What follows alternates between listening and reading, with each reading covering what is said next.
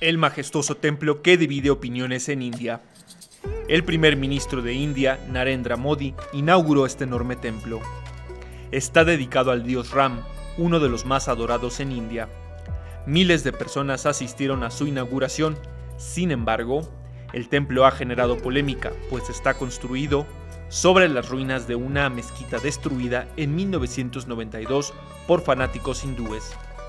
Aunque el hinduismo es la religión mayoritaria en India, unos 240 millones de indios profesan el Islam. Pese a ello, para el primer ministro hindú, su construcción simboliza una nueva era de nacionalismo para la India.